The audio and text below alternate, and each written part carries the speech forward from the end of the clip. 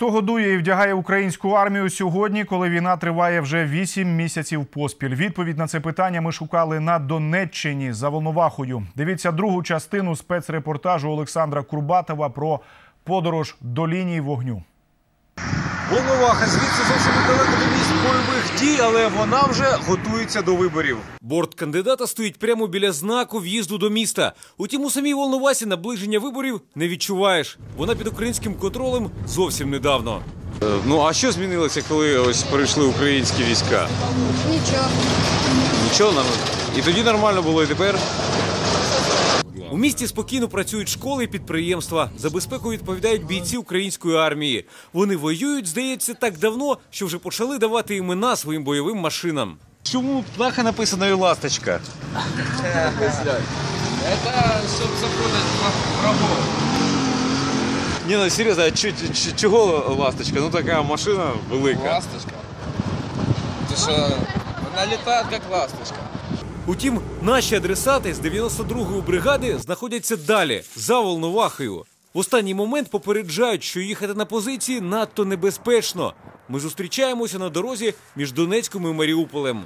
Одразу звертає на себе увагу нова форма. Невже це та сама, яку обіцяло Міністерство оборони? А це у вас е, яка форма ось я бачу? Це українська нова чи ні? Хто що. А є деякі хлопці, які купили за свої кошти. Каски, бронежилети, розгрузки, одяг, вірці, все саме купив. Так само я все своє купив. Коштувало недешево. Зате іноземні форми і берці витримують нелегкі українські польові умови. А ну а що це вони? Це українські чи ні? Не українські? Це скільки вони вже відходили? А то А то все? Та ні, ну вони ще в непоганому стані, якщо все що покремити їх потрібно. У бійців все куплене за власний кошт або привезене волонтерами, навіть аптечки. Покращення роботи Міноборони на передовій не відчули і по сьогодні. То, що ви підвозите, то й. Тобто і досі, е, власне, ну, залежить від е, волонтерів. Поки що так. За Волновахою чи не кожної ночі заморозки. Бійці мерзнуть, зігрітися просто ніде. А як грієтеся? Гріємося Да. по-разному. Ходимо, дежуримо. Але рухатися цілодобово неможливо. По-перше, потрібно колись відпочивати. По-друге, попри офіційне перемир'я, позиції регулярно обстрілює ворог. Тому доводиться просити про допомогу. Теплі речі, зараз душі будуть, потрібно якісь дощовики, клейонка. Ага. Ну, таке. от. А теплих речей ще не, не, ви- не видавали. Ще ні. Якісь спальники, бушлати, шапки, перчатки, буржуйки якісь, палатки. Теплих речей, які привезли волонтери, на всіх не вистачить, але це краще ніж нічого. А от чому радіють усі, так це продуктам харчування. Звісно, потрібно. І вода, і їжа. Міністерство оборони возить. На даний час так, 50 на 50. Інколи перевозять, але водовозки ті вже ржаві, вода не чиста, пити з неї неможливо. Утім, обновки від Міноборони все ж надійшли. Це техніка із консервації. Вчера только пришла. А вчора прийшла? Це нова машина тобто до вас?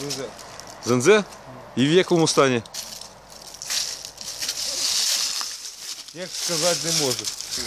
Сьогодні антифриз залили, що сьогодні. Вода так не капла, антифриз залили, бля. Що тече? А що не бачите? Познімайте. щось.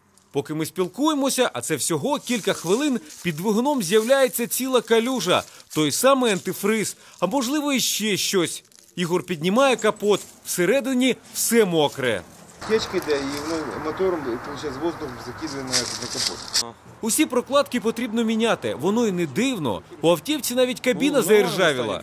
На кермі надпис ще радянських часів. Не жмі дух, дідушка все вижал.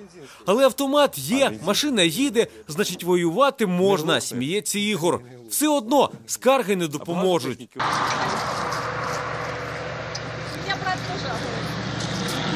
Волонтерськими харчами бійці завантажили майже весь кузов. Потім усі на бойові позиції, і автівка від'їжджає. Ми обов'язково повернемося, обіцяють волонтери. Адже якщо не допоможемо ми, то яке матимемо право вимагати захисту від армії? Олександр Курбатов, новини 11 каналу.